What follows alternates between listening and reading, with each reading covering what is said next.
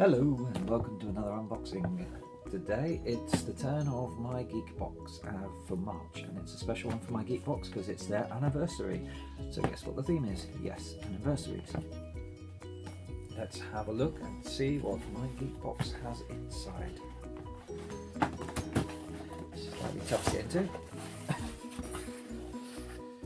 and what do we have first? Now, hmm, this is interesting because everyone's been doing these.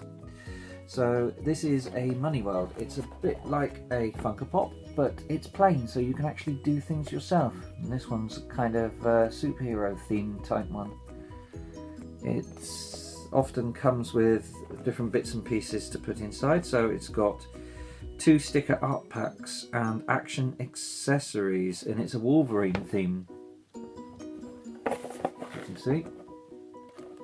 There's different theme ones, so you might get a different one if you've ordered My Geek Box for this month. There you go. You've got the claws and the stickers inside. That's pretty cool. And then you can also draw on it as well.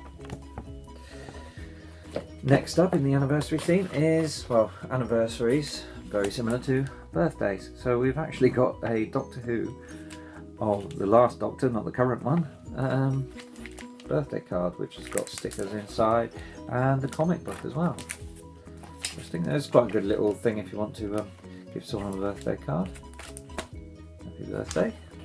Lots of things inside there. Someone might be getting that if they're a fan of Doctor Who.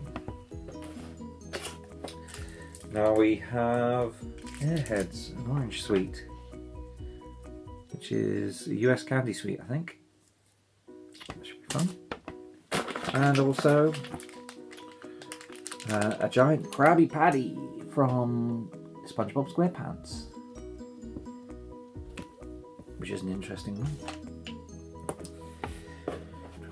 Next out of the box is a Doctor Who The Mind of Evil and the Claws of Axos. It's a classic set with the Master, based on obviously the episodes from the TV series with the third Doctor, Jon Pertwee. Um, I've actually got this one already, so this is probably going to go to someone else who's a big fan of Doctor Who. sorry about the noise.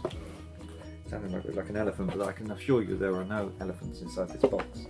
However, there is Captain America, a collectible figure. And it doesn't look too bad actually. Looks pretty good